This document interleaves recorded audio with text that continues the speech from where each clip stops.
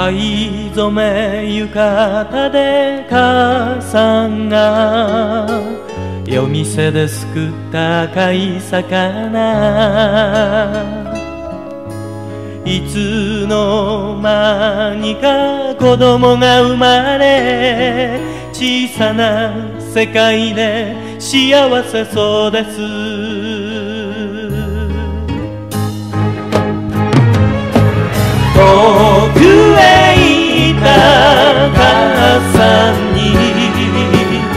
年もお祭り見せたくて窓辺にかけたあの日の浴衣震えているのはなぜですか？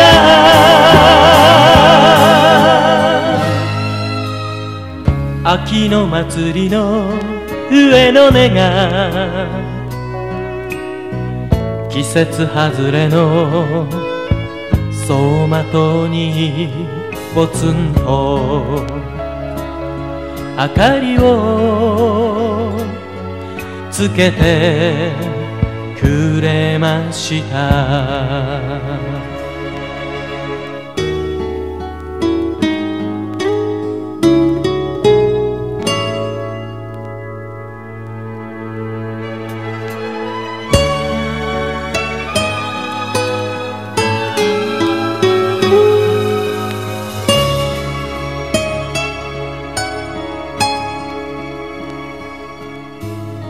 一枚しかない母さんの悲しみ知らない頃の写真。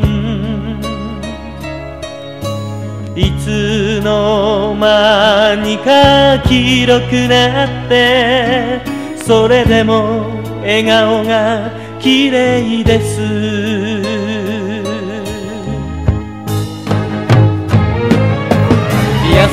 しく匂う母さんの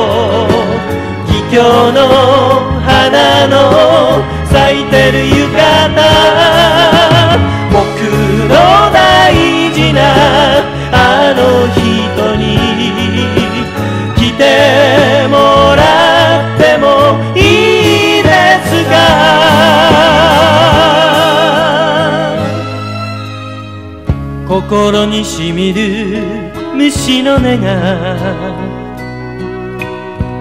季節外れの走馬灯にポツンと明かりをつけてくれました。